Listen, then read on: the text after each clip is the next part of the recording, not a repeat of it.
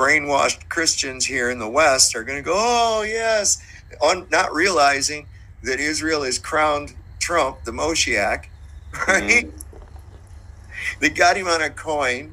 This guy's walking around the world, totally breaking protocol, walks up and just slaps the old Sheik of Arabia on the back there, which is a death penalty to touch that fucking guy.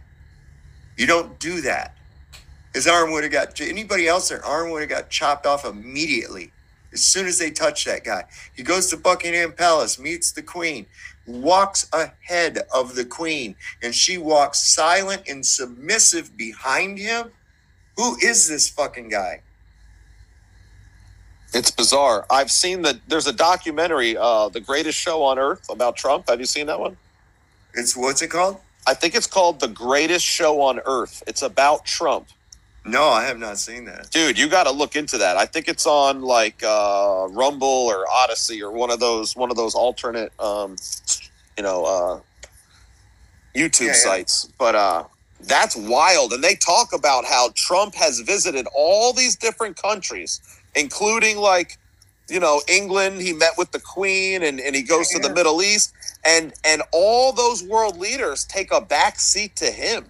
Dude, that's what I'm saying. Listen, that's all in. That's all in this documentary. I'm almost positive it's called "The Greatest Show on Earth." Uh, when, when it comes to the monarchy, okay, and especially while I, I know well as while, while the queen was alive, um, that there's there's protocol that must be adhered to. For instance, you do not reach your hand out to the queen she offers her hand to you or she does not.